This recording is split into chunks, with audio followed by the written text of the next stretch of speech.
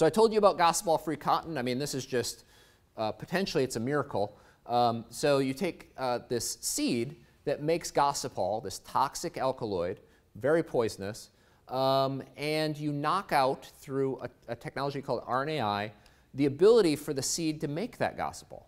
Now the rest of the plant still has gossypol, so when the insects try and eat it, they get sick, they don't eat the plant. So the plant grows healthily, and then you can harvest that seed. There's about 500 million people that could eat from the cotton seed that's thrown away. Now I live, uh, I live out towards Caldwell now, and uh, there's a cotton gin over there, and I saw the other day huge piles of cottonseed just smoldering, just burning. Okay, so right now, and, and there's other reasons for that, aflatoxin and other things, but there's a lot of cottonseed that could be put to better use if it didn't have this gossypol. So what Keerti did is he actually made a waste product into a valuable product through GMOs. Okay, and so that's something you don't hear about as often. Unfortunately, because of these last two parts, that's what he spends all his time doing is convincing people that we should use it, we should sell it.